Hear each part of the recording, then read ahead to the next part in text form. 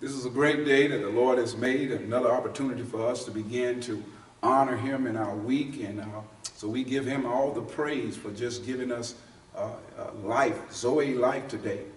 I was thinking about a phrase that we often use sometime, and we call it a hidden agenda. And usually this phrase is used in the context of people that have selfish or ulterior motives when they're doing something with us or for us. And so we often say they have a hidden agenda.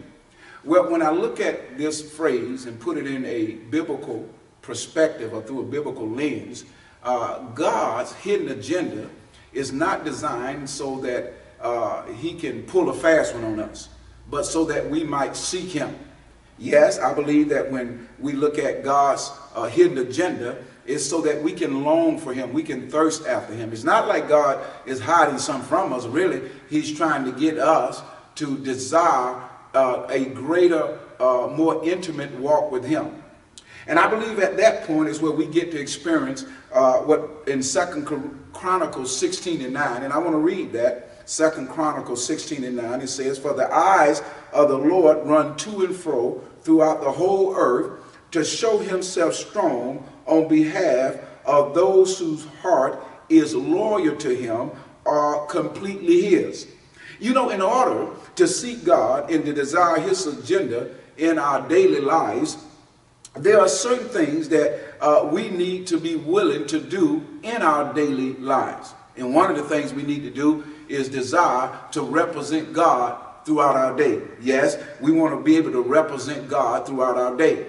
Now, that doesn't mean that, you know, we just sit around and, you know, act like, well, I can't do this or that. But I believe as we go about our daily business and daily responsibilities, that we're more sensitive to the Holy Spirit in being able to represent God in our daily lives.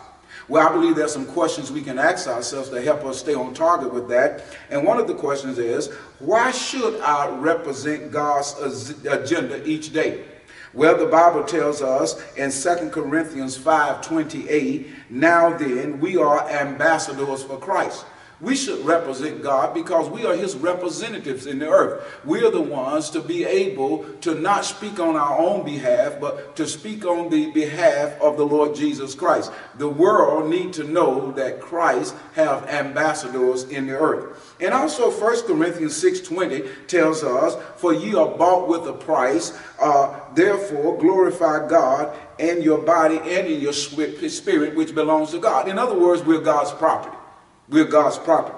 Another question I believe we can ask ourselves is how can I represent God's agenda each day? Well, Matthew 6.33 tells us to seek first the kingdom of God, his righteousness, and all those things shall be added unto us.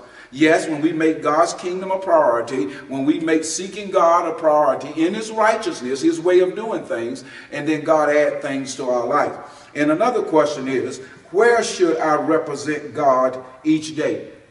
Well, 1 Peter 3.15 says this, But in your hearts reverence Christ as Lord. Always be prepared to give an answer to everyone who asks you to give you to give the reason for the hope that you have. But do this with gentleness and respect. I believe God wants us to have an attitude of faith that we want to represent his agenda every day in our lives. Let us pray. Father, I pray this week, I pray today that we will seek to represent you in the earth. We will recognize that we are your ambassadors, Father. We will recognize that you've purchased us with the blood of the Lord Jesus Christ. We are God's property. We belong to you. And Father, I thank you today, God, in the name of Jesus, that our hearts are set on the things of God. And in our hearts, Lord, help us to be prepared to give an account of the hope that we have have on the inside of us. Well, God bless you. I encourage you today, make sure that you purpose in your heart that you're going to represent God's agenda each day. Have a blessed day.